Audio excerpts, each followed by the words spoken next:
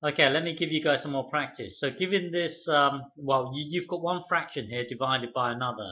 So um, simplify this. Re remember that when, when you have A over B divided by C over D, um, this thing here stays the same. So it will be A, B, and then you times the reciprocal of the second fraction. So it will be, uh, so rather than doing this, you would do this. Okay, so so top times top, bottom times bottom. Well, anyway, do whatever you have to do. Um, simplify this. Okay, press pause and have a go. Okay, so rather than doing the divide, we're, we're going to keep this the same, but then multiply the reciprocal of this. Okay, so um, so hang on. So keep this the same, x minus 3 over x squared, but then we times the reciprocal, so it will be this, um, x squared minus 9 okay? Um, and then and then uh, you should be able to spot that well uh, this thing here can easily square root and this thing can easily square root and there's a minus in between. So so let so factorize factorize this part here. So uh, hang on. So it would be x minus 3 over x squared uh, times uh, x and then and then uh, you, you, you got to, so at, at, the moment we've got this, hang on, at the moment we've got this, uh, let, let, let me write this again, at the moment we've got x squared minus 9, okay, so, so you, you, you can see you can easily square root this and you can easily square root the 9, so just, just jump to this, x um, plus 3, and then, and then immediately x minus 3, Okay, so um, so now is uh, is top times top, bottom times bottom. So this here, well, you can merge the two fractions now. So so it would be this x bracket x minus three uh, all over uh, uh, x squared, uh, and then you've got x minus uh, sorry x plus three, and then x minus three. Okay. Um, so this here would cancel out with um, with the minus over here, minus 3 over here.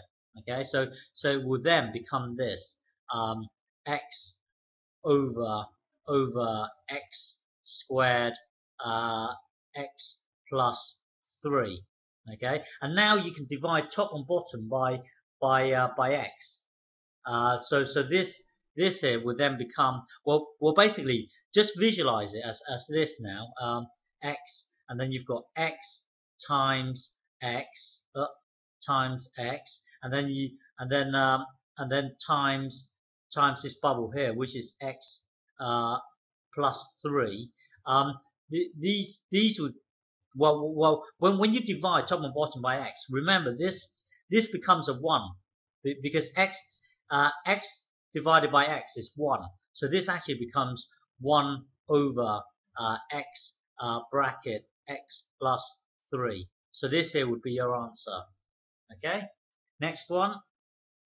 So um, yeah, add these two fractions together. Re remember, if, if you're given uh, a over b plus c over d, um, just get the two denominators to be the same. So over here you would multiply top and bottom by d, over here multiply top and bottom by, by b, just so that the two denominators uh, can be the same. Well, anyway, press pause and have a go. Okay, so uh, so here, um, yeah, so so on, on this side we're going to times top and bottom by uh, by this bubble here. So it will be um, times top and bottom by x plus two times top and bottom here by x plus two, and then over here you times top and bottom here by by this bubble here. So uh, times top and bottom by by uh, by x uh, plus 3 and then uh, and then x plus 3 okay so so this one here would then become um, x um, bracket uh, x plus 2 uh, over uh, x plus 3 and then and then x plus 2 um, and then this here would become well, now it's this times this bubble here. So it would be uh, 4, uh, 4x bracket x plus 3. And then here you would have um, x plus 2 and that that exists in a bubble. And then and then you've got another bubble here.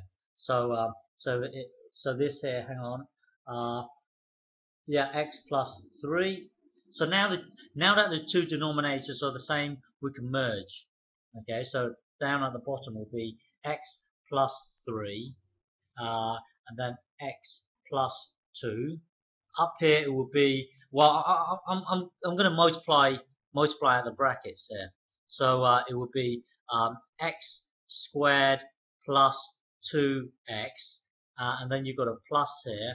Uh, and that now this times this here which will be um, 4x squared and then this times this here would be would be um, uh, plus plus 12x now um, now merge well you've got an elephant here. Oh, you've got an elef one elephant here plus four elephants here. So you're going to have five elephants. And then here you've got your giraffe and your giraffe here. So you can merge them together. Okay so so this one here would then become hang on uh, x plus 3 uh, close this off and then x plus 2 and then uh, so so here you've got one elephant plus five elef uh, four elephants. So that will give you five elephants. And then you've got two giraffes uh, plus uh, 12 giraffes. So that will give you plus um, uh, what, what what is it? Plus um, uh, plus 14 giraffes. Yeah. Okay, so uh, so can you um, can can you factorize the top part now? Um, yeah, well, you can take x out as a factor. So uh, so you can take x out. So this will become uh, 5x uh, plus 14. Okay, over uh, over over x plus 3 and then uh, and then x plus 2. Okay, so, so this here would be your final answer. Okay?